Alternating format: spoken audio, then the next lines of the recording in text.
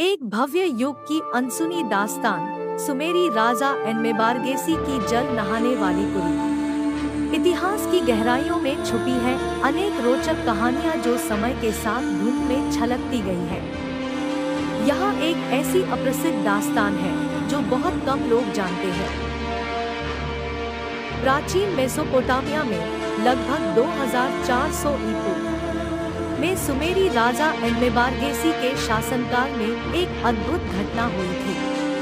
राज्य को कठिन सूखा था जो सालों तक चलता रहा, जिसके कारण फ़सलें सूख गई थी और नदियों की धार भी सूख गई थी। एक समय पर फलदायी भूमि अत्यंत सुखी थी और उसके लोग भुखमरी की कगार पर थे।